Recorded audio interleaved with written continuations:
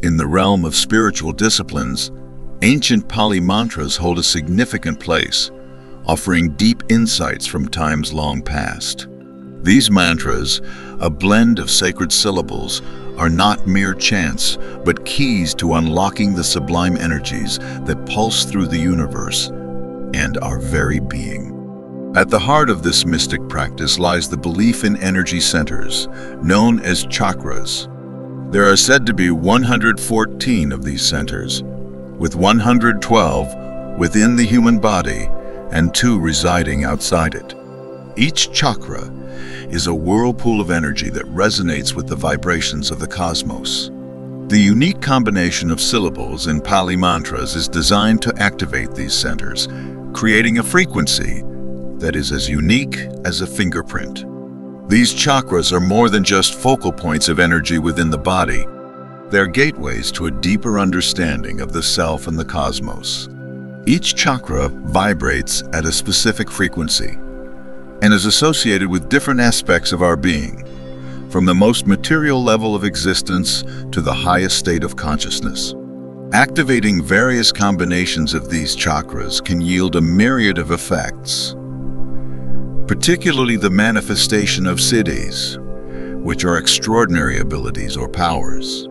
These siddhis are not seen as magical phenomena, but rather as natural extensions of the human potential that lie dormant within each person, awaiting awakening. For instance, stimulating the lower chakras, which are connected to our primal instincts and physicality, in conjunction with certain higher chakras, which relate to intuition and spirituality, may result in the siddhi of body transcendence, where one may experience a sense of being beyond the physical constraints of time and space. Conversely, concentrating on the heart chakra, known for its association with love and compassion, while simultaneously activating the throat chakra, the seat of communication, could potentially unlock a siddhi of profound influence, allowing one's words to carry deep resonance and the power to heal or inspire. The third eye chakra, positioned at the forehead between the eyebrows, is traditionally associated with insight and vision that transcends the physical. When activated in harmony with the crown chakra, which is said to connect us to the divine, one might access siddhis such as clairvoyance or heightened states of enlightenment. It is believed that these siddhis are not the goal of the spiritual path, but are milestones that signify progress on the journey towards self-realization. They serve as reminders of the latent potential within us and the interconnectedness of all existence. However, the wisdom traditions that teach about chakras and siddhis also caution that these powers should be approached with humility and respect as they carry great responsibility. The attainment of siddhis through the activation of chakras is a profound process that involves disciplined practice, often under the guidance of a knowledgeable teacher. It is a path that requires purity of intention, ethical conduct, and an understanding that the true purpose of gaining such powers is to aid in one's spiritual evolution and to serve the greater good. These mantras serve a kaleidoscope of purposes. Some are woven to form a shield of energy, a protective cocoon that guards against negative forces. Others are incantations that dispel darkness, much like a ray of light piercing through shadows.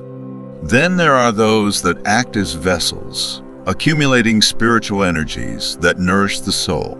For healing, certain mantras act as a balm, harmonizing the energy flow within, nurturing the body and spirit back to health.